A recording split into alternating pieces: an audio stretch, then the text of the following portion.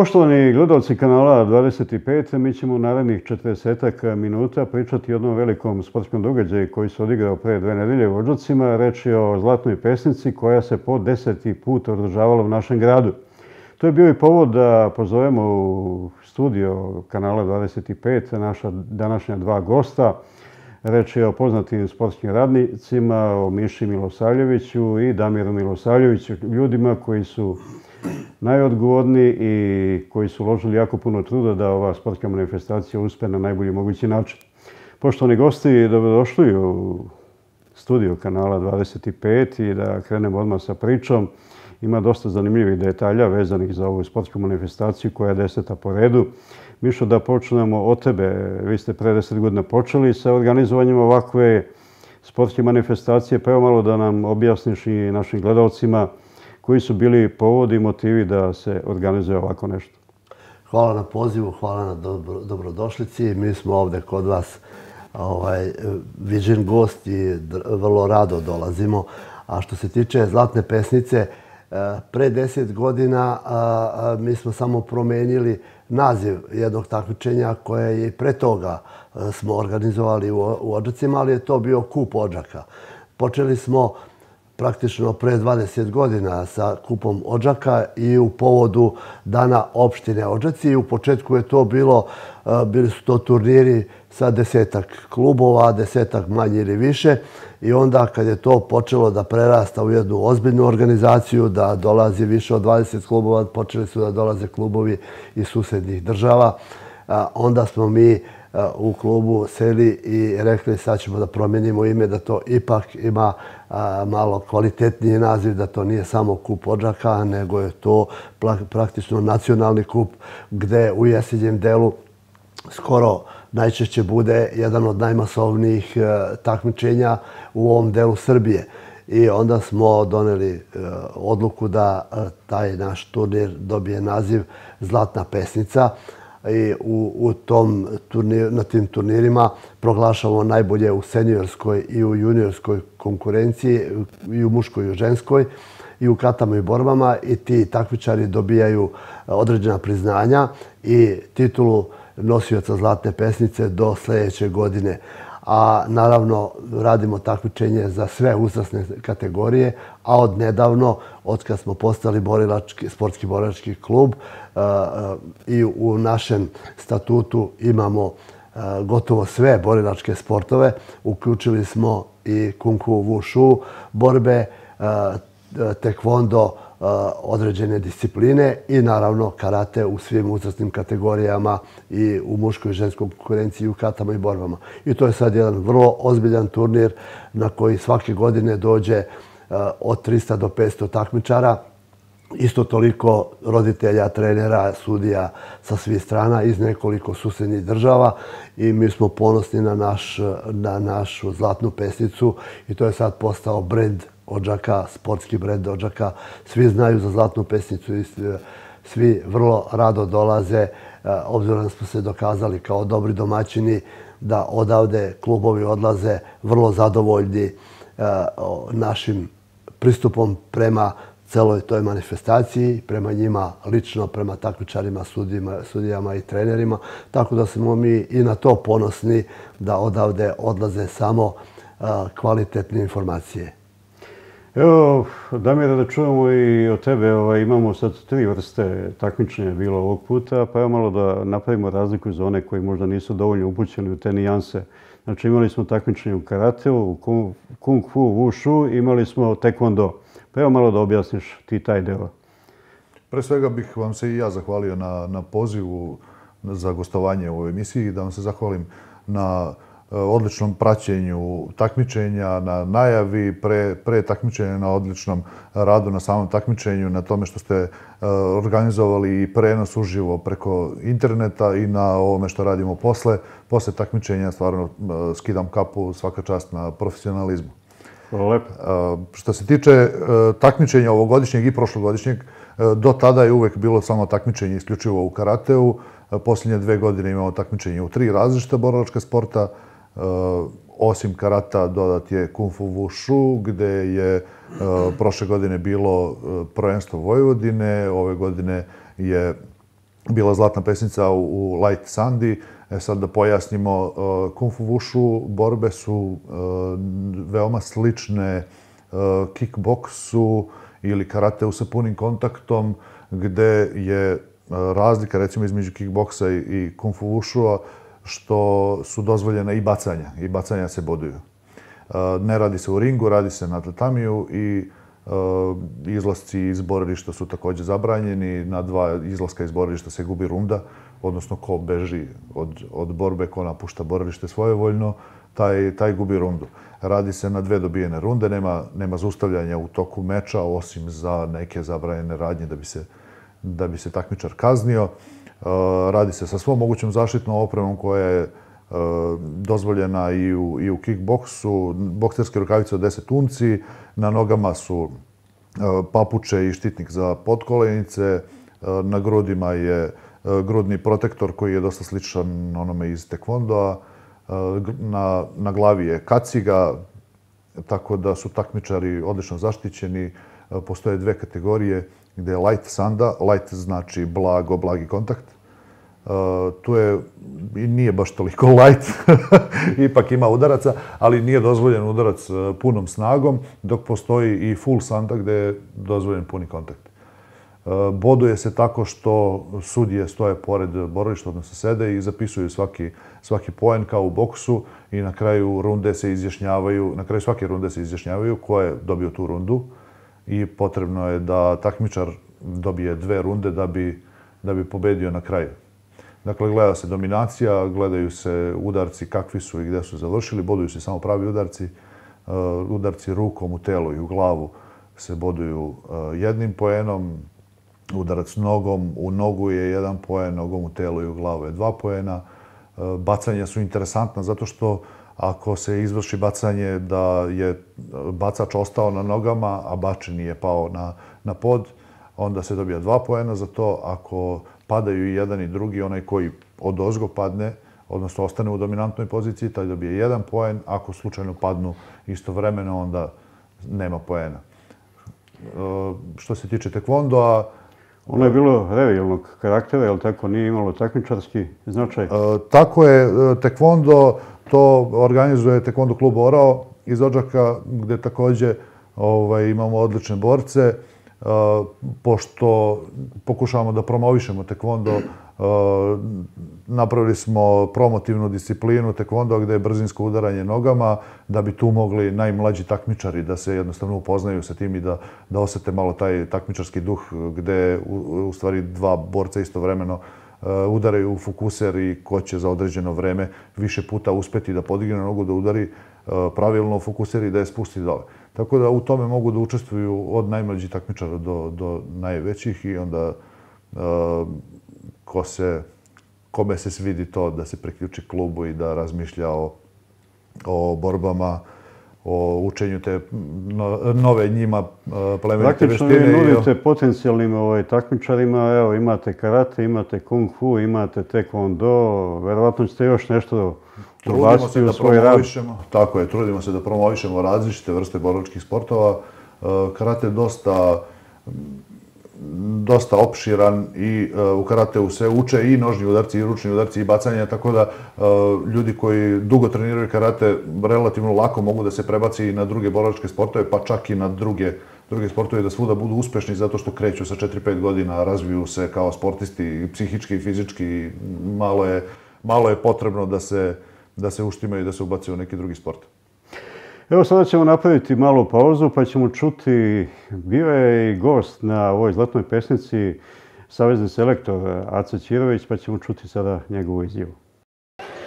Prvo svega bih hteo da se zahvalim vašoj opštini, da se zahvalim Karate klubu Mladost i naravno mom prijatelju Miši Milosavljeviću što ima snage da organizuje ovakav turnir i što vidite da je veliki odziv mladih ljudi, dosta klubova, ne znam tačno koliko ih ima. Ovo mi naravno nije prvi put da sam ja u Ođacima i uvek podržavam ovakve akcije. Svaka čast ne samo Miši, nego i Damiru Milosavljeviću koji je verovatno povukao e, veliki teret organizacije ovog turnira. Organizovati ovakav turnir zahteva puno angažovanja. Oni su to danas uspeli da privuku veliki broj mladih Ja se nadam da će turnir e, da protekne u sportskoj fair atmosferi kao što inače naši turniri protiču i e, voleo bih da je naravno i sljedeće godine nekih narednih godina se ponovo družimo ovdje u Ođacima.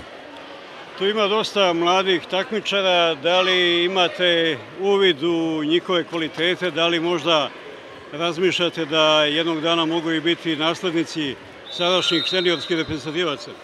Naravno, tu ima već nekoliko reprezentativaca, što juniorskih, što seniorskih. Ja ću pažljivo kao i uvek da posmatram njihov nastup. Prošle nedelje smo imali turnir u Jagodini, tu su se pojavili skoro svi koji su na mom spisku i na spisku mojih kolega. E, sljedeće nedelje opet radimo turnir u Zrenjaninu. E, 2. decembra imamo memorialni turnir Slobodana Vučinića u Beogradu, gdje ćemo još jednom proveriti sve te naše kandidate i sigurno da ovi koji dolaze iz kadetskog juniorskog e, tima, odnosno selekcija, imaju želju i volju da, kažem, uslovno skinu sa trona već ove dokazane seniore. Mi ćemo na kraju ove godine imati e, neku smenu generacija, tako da su oni ti koji kucaju na vrata reprezentacije, govorimo o seniorskoj reprezentaciji. Sljedeće godine imamo nekoliko velikih takmičenja, pre svega u Češkoj, prvenstvo sveta i prvenstvo Evrope u Baru u Crnoj Gori, tako da ćemo se družiti sigurno i sa nekim novim imenima u seniorskom timu. Gospodine Cirović, imate odličan uvid e, kada je u pitanju vaša organizacija, tu mislim pre svega na nivou Srbije. Recite mi, molim vas, imate li utisak da vaša organizacija polako ali sigurno stiče sve veći broj pristalica? Pa to je sigurno. Mi već danas na ovom turniru imamo dva kluba koja su prešla iz nekih drugih organizacija i faktički se priključili nama. Ovde su stvari jasne, svako radi svoj posao. Moj posao je samo da budem u sali, da se bavim uh, treningom, da se bavim selektiranjem, da se bavim uh, organizacijom sa mlađim kolegama, da se radi po programu i planu koji imamo u svojim klubovima. Uh, sudijska komisija radi svoj posao, niko se ne petlja u ingerencije nekog drugog, tako da mislim da smo stvari postavili na pravo mesto i to ljudi prepoznaju i polako se priključuju organizaciju kojih niko ne pritiska ni zbog bilo kog razloga. Evo već je, ušli smo u novembar mesec, praktično to je već još mesec i po dana do kraja godine. Možete li sumirati ovu 2018. godinu kada su u pitanju rezultati? Pa naravno da mogu. Mislim sad kad smo bili u Moldavi da smo pokazali da smo ozbiljna karate nacija. Tamo smo u generalnom plasmanu od 40 zemalja zauzeli četvrto mesto što je jako važno, ali s obzirom da je takav sistem bodovanja da su neki e, neke reprezentacije bile mnogo brojnije od naše reprezentacije, mislim da to nije pravi kriterijum, ali uvek smo tu među tri, četiri najbolje reprezentacije na svetu. To nije samo slučaj u šotokan stilu, to je slučaj mi stvarno u bivšoj Jugoslaviji, u Srbiji sad radimo dobar karate i to me raduje. Nismo se, da kažem, utopili u toj nekoj transformaciji, prelasku, malo smo se okrnjili zbog same političke situacije, ali svi rade dobar karate, i bosanci, i hrvati, i crnogorci, i mi, i makedonci, i slovenci. Tako da mislim da smo imali dobru podlogu, da smo imali dobru bazu i da se, hvala Bogu, iznedrilo dosta dobrih trenera, što pokazuje rezultat na nekom svetskom nivou. Evo i posljednje pitanje za ovaj naš razgovor vezano je za sljedeću godinu. Kakvi su planovi, ciljevi? Pa naravno, sljedeće godine u nove pobjede, bez obzira na to što ćemo imati smenu generacija u, u, u tom seniorskom pogonu, ali ne brinem, imamo nekoliko sjajnih juniora koji su svojim e, nastupima i na kraju krajeva verifikacijom, osvajanjem e, zlatnih, srebrnih, bronzanih medalja na svetskom prvenstvu koje je bilo, kažem, u Kišinjevu, u Moldavi pre prilike tri nedelje. Ja ne brinem za e, da li ću biti ja na čelu seniorskog tima ili ne, ja ne brinem za perspektivu, odnosno za razvoj, dalji razvoj i napredak naše karatea. Gospodine Čereviću, hvala vam puno i puno sreće u nastavku. Bogu hvala, hvala vama.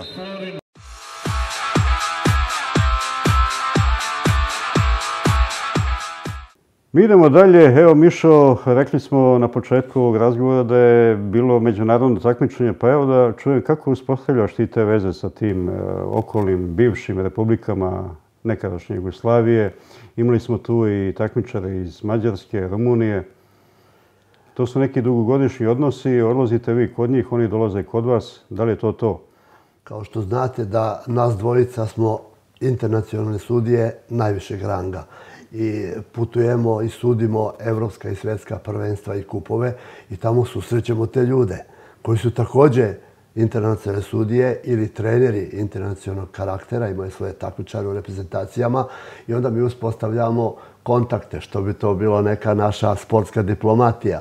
I onda tamo dogovaramo nudimo svoje materijale, svoje pozive i godinu dana unapred za Zlatnu pesnicu da ljudi mogu da planiraju svoje budžete, da planiraju svoje vreme, da tad budu slobodni i da mogu da doputuju na naše takmičenje.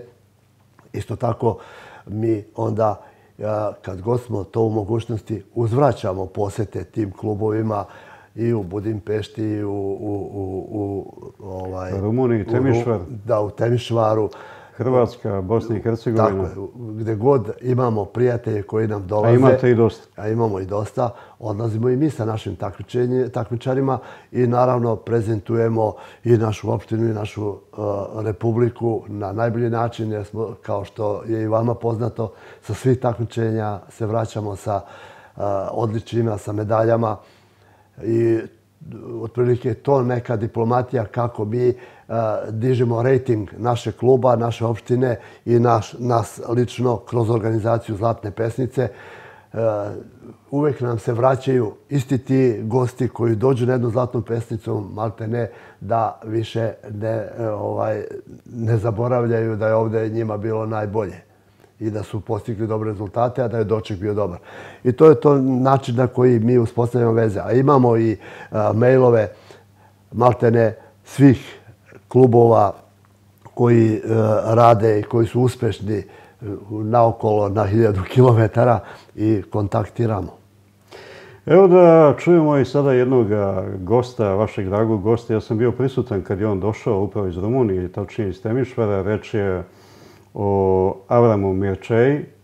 On prilično dobro govori srpski, pa evo da čujemo i njegovu izjavu kako je on i zašto je došao u Ođake na Zlatnu pesnicu. Biće li zadovoljstvo? U Ođaci ja e, dolazim za mnogo prijateljstvo, e, zašto je turnir, to je drag mi je za turnir, da idem za tu, e, tvoju turnir. Ja sam četiri puta u turniru u Ođaci. Turnir je jak, takmičari su dobri, organizatori su super dobri, kako se kaže, ne znam, odlično, domaćini su vrlo dobri. Ja zahvaljujem za Damir i Mišan Milošavljević. Oni su glavni. Oni su glavni. To je dobar turnir. Nađam da i sljedeću godinu da bude isto. I da bude i bolje. I da bude bolje. Svaki dan mi naravno hoćemo da bude bolje, ali je dobar i danas. Je dobar i danas. Vi ste bili sudija za ove mlađe kategorije. Kakav utisak ostavljaju? dobro. Mnogi, talentovane dece? Mnogi, mnogi deci, mnogi talentovani. Najmnogi ja vidim za dobar nivo, nivel, kao prošlu godinu, to je dobar uh, stvar. I nađam da oni da uh, rade karate i sljedeću godinu i preko sljedećeg i tako dalje. Zašto oni imaju, tale, su talentovani, se vidi da imaju dobi treneri i to je sve, to je to. To je to, samo treba da radi i radi. Da se treba. Vi ste u karateu već 30 godina. Kakva je situacija kada je karate u pitanju? Vi ste iz Temišvara i susedne Rumunije. Da li je situacija nešto bolja nego ovde kod nas u Srbiji? u Rumuniji je isto situacija kao u Srbije danas mladi ne hoće da radi sport. Ovo je težak sport, zahteva puno treninga. To je, da, to je veliki problem, mislim i na budućnost, zašto oni su interesovani samo za internet i ne hoće da radi di sport. Ni karate, ni futbol, ni, ni druge sportova. To nije normalno. Nađam da roditelji da radi nešto, da uzmi svoju decu i da... Nek odvoji malo od... Da ide u dvoranu, neki sport. Nije važno da radi sport. Naravno, ja sam subjektivan i hoću da radi karate. Zašto karate je za mene najbolji sport u svetu. Gospodine Večeja, hvala vam puno na ovim odgovorima i moram da vas pitam, prilično dobro govorite srpski. Kako ste ga naučili? ja hoću da, da mogu da komunikiram. Hoću da razumem šta se govori, hoću da imam mnogi prijatelji i imam mnogi prijatelji u Srbiji, mnogi treneri, mnogi suci, mnogi takmičari koji su prijatelji za mene za Facebooku. To je normalno ako hoćeš da, da, da menjaš iskustva, iskustva i, i tako dalje. Razumete? Ja idem u mnoge turnire u Srbije zašto volim da idem, to je e, normalna situacija. Ja vidim Sportisti vole da se druže. da se druže. To je najvažno za mene i mislim da svaki čovek družen je. Da imaš mnogi prijatelji i da se setiš dobro. Gospodin Mirčeja, hvala vam puno i očekujemo vas i narednih godina. Ja hoću, ako Bog hoće da, da budemo tu, mi sigurno Dolazimo. dolazimo.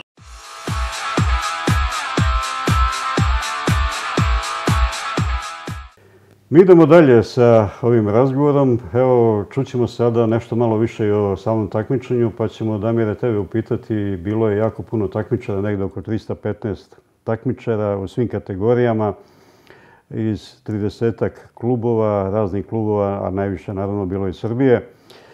E, vaši takmičari, to jest naši takmičari, bili su prilično uspešni, mada vi nekako izbegavate, bar ste to ranije radili, da, da ističete svoje rezultate, rezultate vaših takmičara u prvi plan, uvek dajete priliku gostima. Pa evo da čujemo nešto i o našim takmičarima, mislim pre svega na Anu Žijak i Danila Renzjelovića, pa da čujemo ovaj, kako ste doživeo taj njihov, ne samo njihov, nego i ostale svoje takmičare.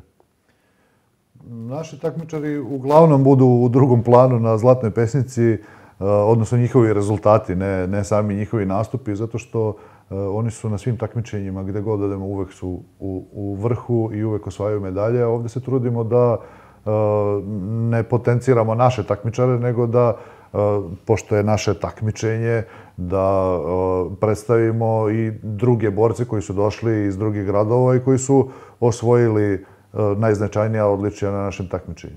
Što se tiče naših ovoga puta, e, najbolja seniorka je bila iz našeg kluba, e, Ana Žijak. Ona je od skora ušla u seniorski pogon kao, kao mlađa seniorka, ali se uspešno takmiči i sa starijima i na svim takmičenjima osvaja medalje, negde zlatu, negde srebro bronzu uglavnom kao veoma mlada takmičarka od 18 godina, svaki taj rezultat, svaka medalja u seniorskoj kategoriji je fantastična. Ona je ovoga puta nastupila e, prvi put i u e, vušu borbama, također se odlično pokazala. Danilo Ranđelović, već standardni vušu borac koji je sad dobio i, i poziv za, za reprezentativni nastup u Mađarskoj. To, o tome ćemo pričati drugi put, pošto sad nije tema, tema ove emisije. Eh, imali smo nastup deset naših takmičara na Zlatnoj pesnici u Vušu, borbama što je prvi put da smo, da smo nastupili sa toliko boraca, jednostavno da se oprobaju. Sad im je bila idealna prilika da se oprobaju u toj za, za njima novoj borilačkoj veštini i veoma sam impresioniran da su se svi odlično pokazali. Eh, niko nije pokazao ni, ni malu dozu straha, jer ipak je to eh, malo drugačije i novo nema zaustavljanja, to nego je... To su kontaktni ovaj, sportovi, kontaktni tako sportovi. Kažem, na pun kontakt i onda i dolazi do povreda. Na svu sveću ovog puta ih nije bilo. A, nema, tu, nema tu puno povreda, pogotovo u toj uh, Light Sandy. Objasnio sam već uh, malo pre kakva je sva zaštitna oprema, tako da oprema je ta koja u stvari sprečava povrede, jer kad neko ima debele rukavice i kacigu na glavi koja je, koja je sunđer ove debljine, onda iako je neki malo jači udarac, on se ne, ne, ne, ne osjeti se toliko, ali adrenalin skače svejedno, zato što je ipak je totalno drugačiji osjećaj kad znaš da, da onaj drugi protivnik ne mora mnogo da, da koči svoj udarac, ali svi su odlični bili. Evo sada ćemo čuti upravo Danila Ranđelovića i Janu Žjak, pa ćemo nastaviti naš razgovor. Ovaj, uvijek se tome nadam da, da budem najbolji, da pobjedim sve. Ovo je domaći turnir, osjećam se super kod kuće, bez treme, bez straha i eto, prvi sam. Znači, ovo je bila borba protiv tvog e, vršnjaka i prijatelja iz Jagodine. Koga si dobio? Tako je, moj drugar Todor iz Jagodine, znamo se dugo. Na svjetskom prvenstvu smo radili u ekipi juniora uh, i, i radio sam protiv njega u finalu, pobjedio sam ga 2-1 u produžecima. Šta je odlučilo u borbu? Pa definitivno smirenost, kad borba uđe u, u produžetke, pred kraj meča, noge su teške, umorni ste, ali morate ostati smireni svakako. Pa ovo je protivnica s kojom sam se prvi put susrela, pa je zato bilo interesantno. Borba je bila solidna. Šta je bilo presudno? Pa presudno mislim da imam više iskustva u borbama od nje. Znači iskustvo je odlučilo? Da, mislim da je to u pitanju. Jesi li imala, imala susret sa ovom rivalkom u finalu ranije? Do sada prvi put vidim devojku, tako da. da. Kakva je taktika bila? Kako je se gledati?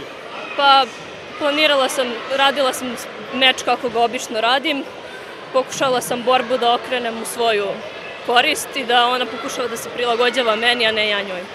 Znači, to je bilo najvažnije u ovom trenutku. Da. Hoće li biti još borbi? Sada trebam da radim uh, borbu u Vušu. Nadam se da će i to proći dobro. Hoćeš biti najbolja? Vidjet ćemo. Vidjet ćemo. Hvala ti. Hvala vama.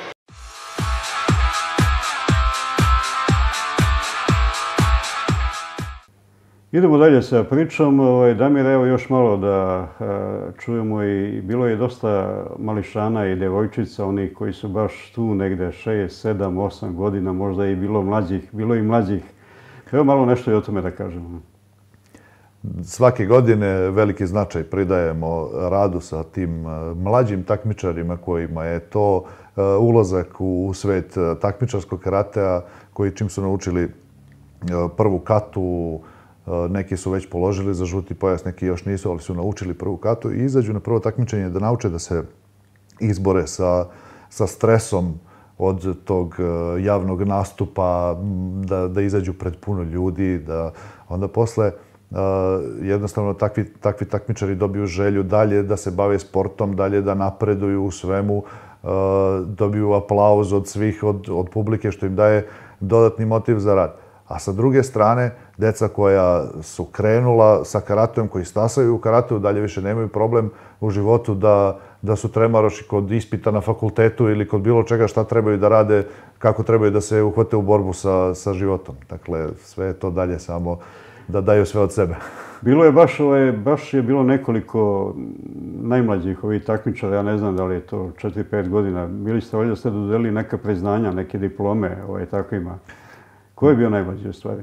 Dva, dva najmlađa takmičara, dečak i devojčica, su dobili po jednu knjigu autora Ace Ćirovića kao posebno priznanje što su tako mladi uspeli da savladaju tu prvu katu da bi nastupili na takmičenje. Jer inače, e, najmlađi uzrast koji počinje da se bavi karatom je sedam godina, odnosno koji može e, koji je dovoljno zreo da može da nauči katu. Ali postoje izuzetni izuzetna deca koja već i sa četiri ili pet godina uspevaju da, da savladaju te pokrete. To je, to je e, poseban dar da, da se mozak lepo spoji sa, sa telom i da koordinacija pokreta se razvije pre, pre tog uzrasta. Bilo je, Mišo, i ovih koji su ovako ušli u neke ozbiljnije ovaj, sportske godine. Jedan od njih je bio i Polja Kantali iz Bačke Topole. Ja sam pričao s njim i zabeležili smo i njegovu izjavu. Čućemo je malo kasnije. On mi je rekao da je počeo da se bavi karateom negdje u 58. godini, a sada ima 70 godina. Kako ti gledaš na, na takve ovaj, Pa ja to gledam ljude. kao da sam ja tamo s te strane, jer i ja ću imati uskoro 70 godina, a još uvijek sam u kimonu i svako večer sam u kimonu. I tako gledam i Antala. Antal je, gospodin Antal je čovjek koji je to počeo u kasnim godinama. Ja sam to počeo još kao mladić, a međutim on je u 50. godinama. 58. godine. 58. godine počeo da vežba, ali to znači da je karate sport za svakoga i sport koji može da vežba svako.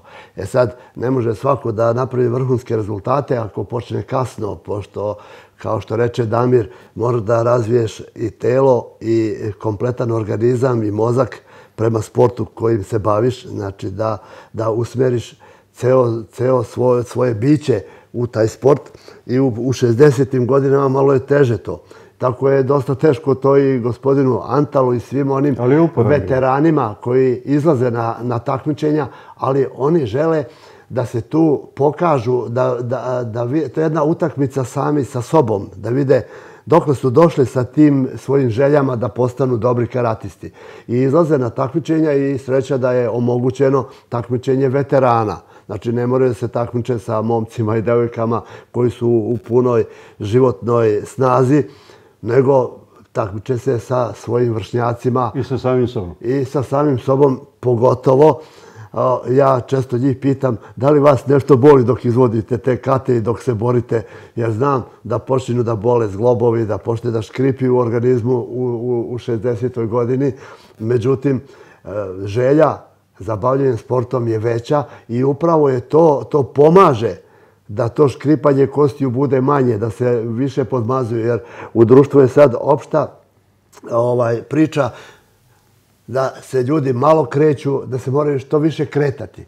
E, gde ćeš se bolje kretati nego otići na trening karatea, gde se rade svi zglobovi, kompletno telo, srce, pluća, zagreju, dignu na neku temperaturu radnu i naravno da si učinio jedno izvanredno delo za svoj organizam. Još ako dođeš na takmičenje pa tu ubaciš i adrenalin, da li si bolji od onog drugog koji je isto star kao i ti, isto vežba kao i ti, pa je to znači još jedan stepen više u tom nekom preispitivanju sebe.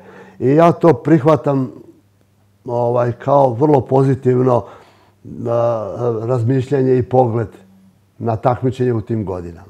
Evo da čujemo sad gospodina Antala iz Bačke Topole, pa ćemo nastaviti razgovor. Ja sam počeo, kad sam otišao u penziji, 58. E, godine, 58, E, tako da već 11 godina sam u tome sportu. I to sam želio ranije da radim, ali nisam mogao zbog posla. Evo sad je prilika u penziji. Koji je bio motiv da se ne motiv, baš sam sport. A ne tuča, neki smatraju tako da mi karate koji to rade, hoće da se tuku. Ne, manje više. Ja volim taj lijepi deo sport, jer karate ima lijep deo taj sport, jel da? A ne da se tuče. A mnogi to misle e, zbog tuče i ovo ono. Vidite, ne. Taj drugi deo voli. Taj... Znači, bavite se, evo, praktično, sad imate 70 godina, znači, to je 12. godina ste u karateu. Vi izvodite kate, koliko kata znate i kako vam je to danas polazilo za ruku? Negde oko 20. E, upoznao sam. A, da li ću izvesti e, takmičarski, to je nešto drugo, ali znam, razumem, 20 e, već sam ovaj, naučio i, i tako volim da uradim da svaki put drugu uzmem, drugu katu. E, volim jer to ipak moramo sve znati i stoga sve redom, danas ovu katu, sutra onu, preko sutra onu. Tako da, mada mi trener nekad kaže da bolje da uvežbam jednu, jednu, pa da s otim idem na takmičenju. Međutim, ja drugačije to svaćam da valja to uvek drugu, da upoznam sve i da naučim kako treba. Budući mi, molim vas, koliko puta vežbate nedelju? E, malte ne svaki dan. E, jedino ne vežbam, to u kući vežbam svaki dan. Svaki dan. Jedino ako mi dođe gost, onda nema vežba. Vidim, svaki dan od šest pa do sedam, pola osam, sat, sat i nešto vremena. E, Osjećate se sigurno fizički bolje nego da ne vežbate? Znate šta, e, jako je dobro je to za zdravlje, E, za čovjeka uopšte. Recimo da imamo problemu, čovjek rešava kroz ta, tog sporta, manje će se brinuti i dolazi do, primetio sam na sportu, da to dovede čoveka do zdravlja. Psihičkog prvo, pa čak i fizičkog, jedan. Tako da primetio sam, e, ovaj sport je zdrav sport. ne i drugi također, ali ovo shvatio sam da u zdravom telu zdrav duh treba da bude. I to u skladu. Jer ako već nije u skladu, onda nešto fali čovjeku.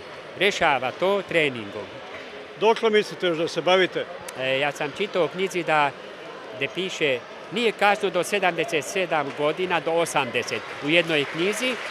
Ja smatram da još imam 10 godina do 80, pa bi i mogao do 80 godina. Međutim, to je puno, možda neću moći. Ipak to su teško. Pripreme i na nastupi su, dosta su e, e, uzbuđenja i to mora čovjek da savlada. Gospodine Antal, hvala vam puno na ovom razgovoru i želim vam pre svega dobro i zdravlje i da nastavite dalje aktivno da se bavite. Hvala lijepo. Hvala i hoću i nastajaću da to bude dalje tako. Mislim, to je lijepo. Svaki subot ili nedelj otići na turnire, to je lijepo. Dajem svim mlađim ljudima i starima koja da to rade. Jedan sport, ne mora karate, ne bude to i odbojka ili tekvond ili šta, ali je da radi sport.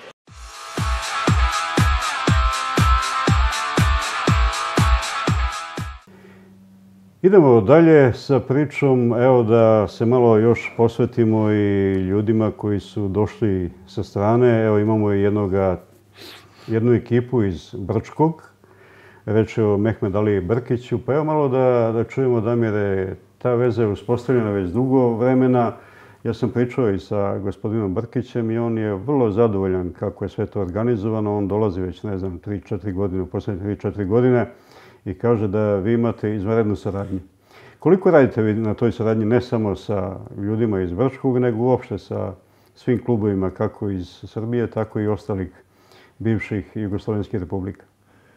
Često se viđamo na, na takmičenjima, tamo se upoznamo sa, sa više uh, ljudi koji kvalitetno rade, jednostavno skrene nam pažnju neko ko, ko radi dobro.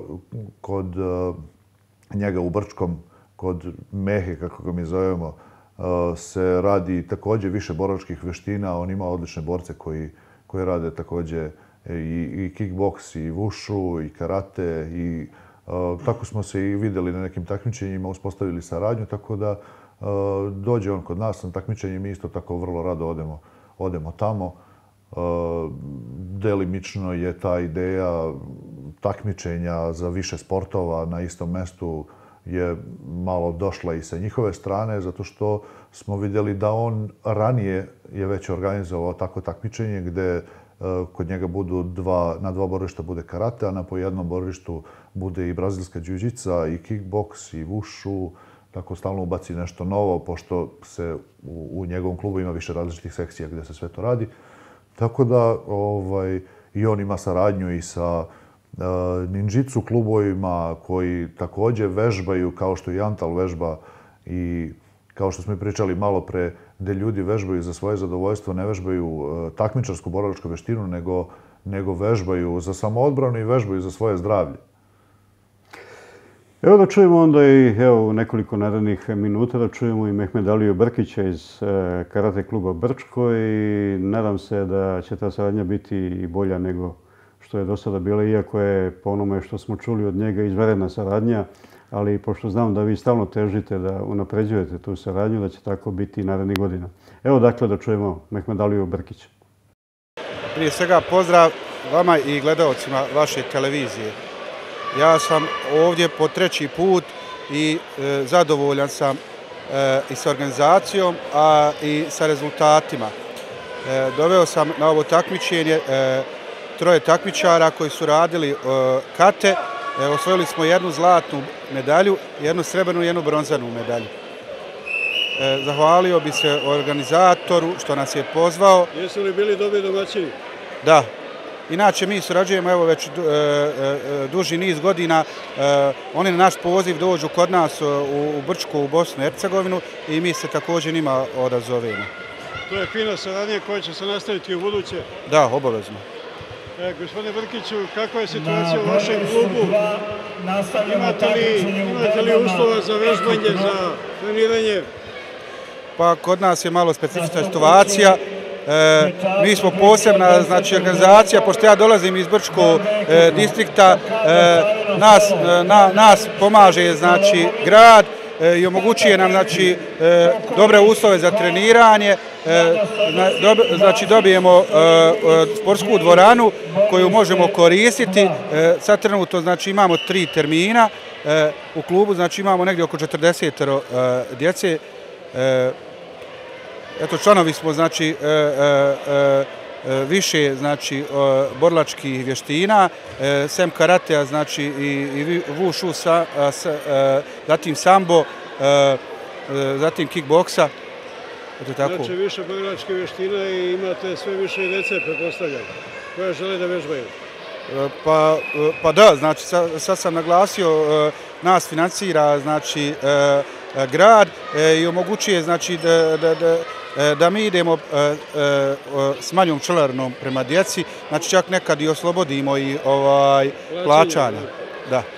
Gospodine Brkiću, kako vam izgleda kvalitet ovde danas? Prilike više od 300 takmičara ima 30 klubova. Šta ste primetili? Pa da, ovdje su moji prijatelji iz Mađarske, iz Rumunije, iz Segedina, znači uskoro koji organizuje takmičenje, e, također mi zajedno isto, e, isto surađujemo. Ovo je izuzetno zadovoljstvo, posebno za mlađu djecu, e, da dođu na ovo takmičenje. Zlatna pesca ima brend već više godina, evo ja dolazim ovdje. Ovo je deseta godina već. Tako je, ali ja evo dolazim, ovo je četvrta godina kako ja ovdje dolazim i zadovoljan sam i s organizacijom i, i sa svim znači, uslovima ovdje.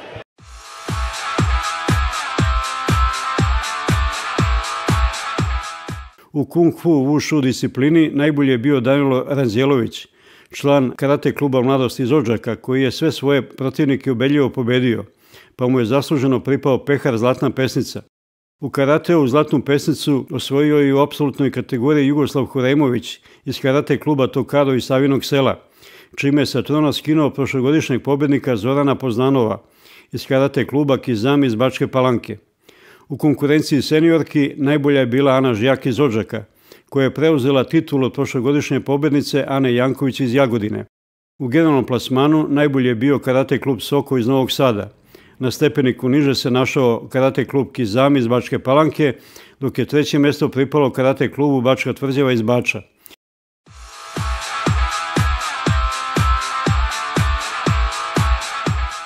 Mi polako ulazimo u završnicu ove naše današnje emisije. Mišo, evo, znamo da je to ogroman posao koji ste vi uložili, znači vas dvojica lično i čitav tim ljudi je tu volontera, pa evo malo nešto da kažemo i o tim ljudima i da kažemo nešto i o samim sponzorima koji su vam pomogli da sve to lepo i dobro organizujete. Pa naravno, kao što ste mogli da primetite na samom takmičenju i uopšte oko dvorane i u dvorani bilo je jako mnogo naših takmičara, naših volontera, ali to su e, pa sto posto naši bivši takmičari koji su otišli iz Ođaka, otišli su u škole, na fakultete, napustili su naš grad. Pred Zlatnu pesnicu mi pozovemo e, sve naše bivše članove, kogod želi da pomogne na Zlatnoj pesnici, da nam se jave.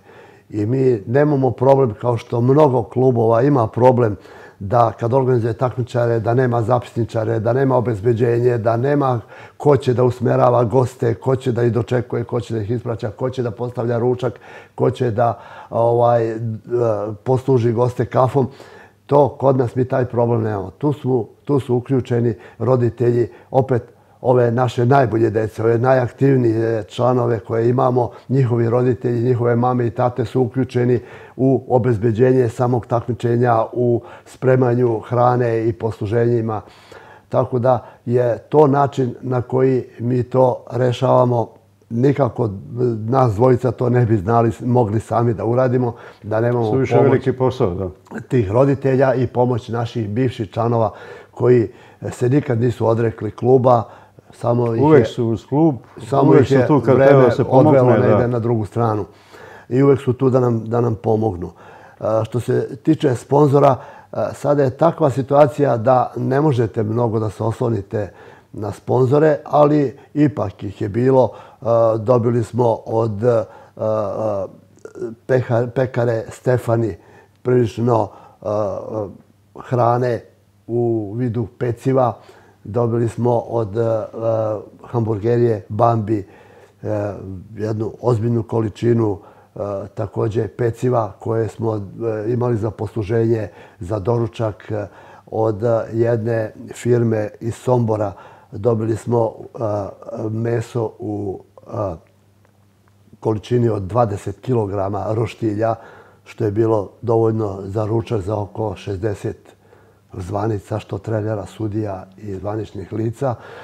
Tako da, otprilike, su to sponzori. I od kotizacija koje uplaćuju klubovi za učešće na ovo takvičenje, isplaćujemo zvanična lica, a bilo ih je puno.